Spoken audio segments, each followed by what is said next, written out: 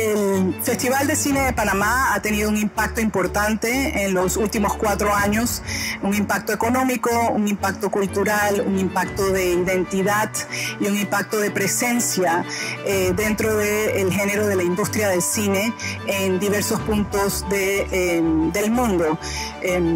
En Europa, en Norteamérica y en toda América Latina se reconoce el Festival Internacional de Cine como uno de los festivales eh, de punta de la región y uno de los festivales que probablemente tenga una injerencia importante en el desarrollo de la industria cinematográfica latinoamericana.